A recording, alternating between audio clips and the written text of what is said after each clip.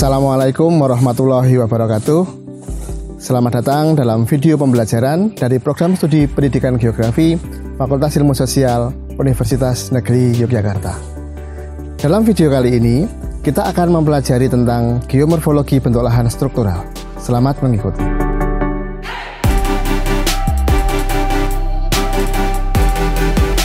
Sahabat geografi, Pembentukan dan dinamika morfologi di permukaan bumi sepanjang waktu geologi dipengaruhi oleh tenaga endogen, eksogen, dan ekstraterestrial.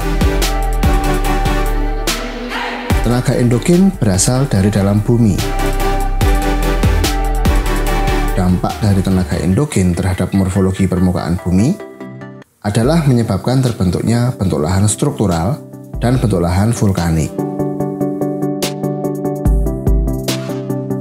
Kali ini kita akan secara khusus membahas tentang bentuk lahan struktural.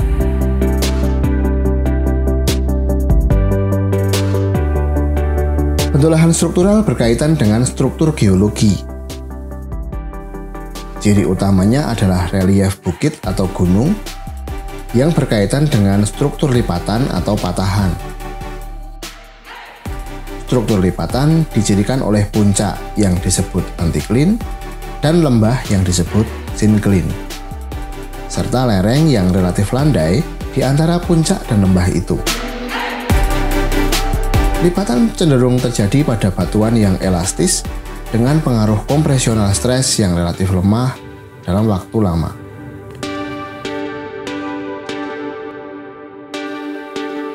Sementara itu, patahan terjadi pada batuan yang lebih keras Tekanan baik kompresional stres maupun tensional stres terjadi secara kuat dan cepat. Struktur patahan dicirikan oleh lereng terjal yang merupakan bidang patahan. Dalam geomorfologi, lereng terjal patahan ini disebut sebagai gawir sesar atau escarpment. Bentuk lahan struktural ini sangat banyak dan beragam jenisnya. Termasuk di dalamnya antara lain pegunungan blok, pegunungan lipatan, pegunungan dom, pegunungan kompleks, plateau, mesa, hogback, cuesta, butte, dan lainnya.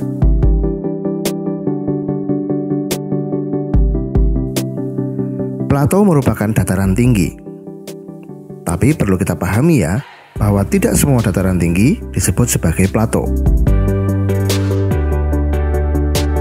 Plato adalah dataran tinggi yang terbentuk oleh proses struktural.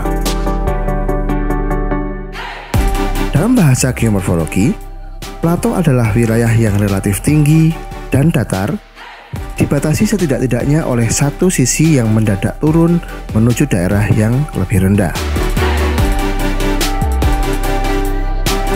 Di samping reliefnya yang tinggi, plato memiliki lembah dan ngarai yang dalam. Plato merupakan lahan yang memiliki struktur sederhana karena terdiri atas perlapisan-perlapisan yang horizontal, sama seperti dataran. Plato terbentuk oleh tenaga endogen yang mengakibatkan terangkatnya daerah endapan di dasar laut.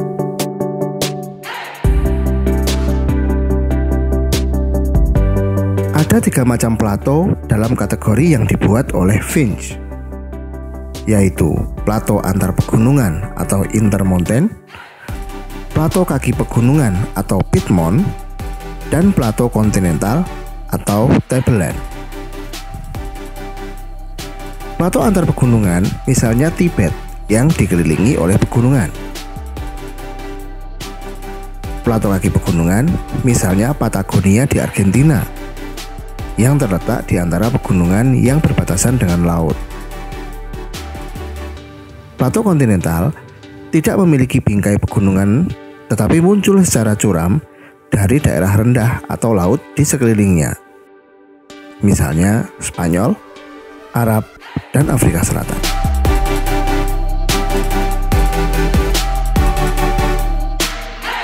Pegunungan Dom memiliki struktur antiklin berbentuk elips yang terbentuk akibat pengangkatan yang kuat. Pegunungan Dom ini, menurut Lobek dan Thornbury, dibedakan menjadi dom dengan inti batuan kristalin, dom garam, dom hasil pembengkakan epirogenetik yang luas, dan dom lava.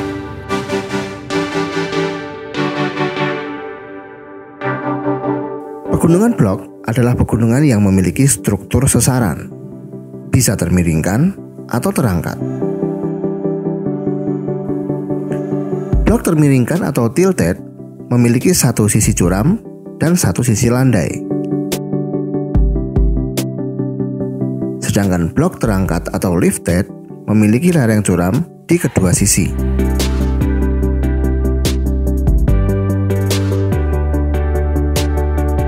Pegunungan lipatan dihasilkan oleh penekanan secara horizontal pada daerah endapan sehingga terbentuk ikir pegunungan yang sejajar. Sementara itu, pegunungan kompleks terdiri atas kombinasi struktur yang bersama-sama menempati wilayah yang relatif luas.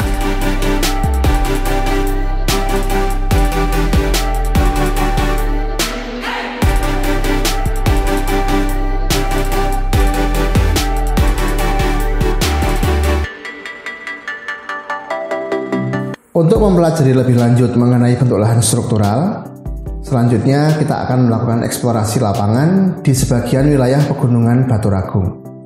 Pastikan Anda mengikuti video ini sampai selesai. Pegunungan Batu Ragung merupakan bagian dari Pegunungan Selatan Yogyakarta atau Pegunungan Selatan Jawa Timur menurut pembagian zona geomorfologi Pulau Jawa yang dibuat oleh A.J. Pankuk. Menurut Pankuk, Pegunungan Selatan Jawa Timur membentang mulai dari Parangtritis, di bagian barat atau di wilayah Yogyakarta hingga ke ujung timur Pulau Jawa. Di bagian paling barat dari zona pegunungan selatan ini terdapat tiga jalur. Yang paling selatan adalah Gunung Sewu, yang tengah adalah Basin Wonosari, dan sisi utara ada beberapa jalur pegunungan. Bagian paling barat dari jalur pegunungan inilah yang disebut sebagai Pegunungan Batu Ragung. Nanti di sebelah timurnya akan berlanjut ke Panggung Masif, Pegunungan Pelopoh, Pegunungan Kambengan, dan seterusnya.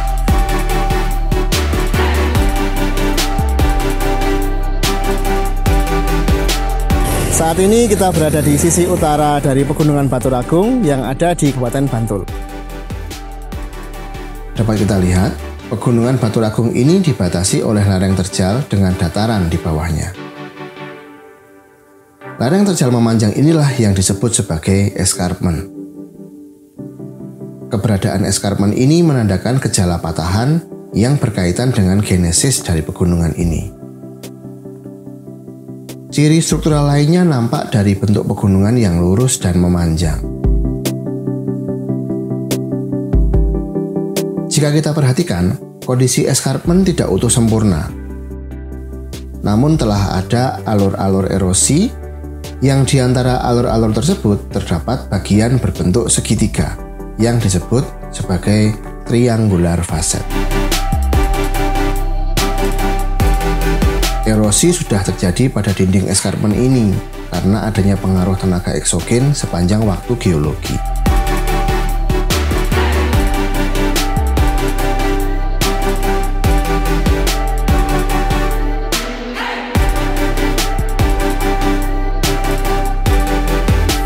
Itu tadi hasil penelusuran lapangan sekaligus sebagai penutup pembahasan bentuk lahan struktural dalam video pembelajaran kali ini. Pastikan Anda terus mengikuti berbagai video pembelajaran lainnya dari program studi pendidikan geografi. Terima kasih. Wassalamualaikum warahmatullahi wabarakatuh.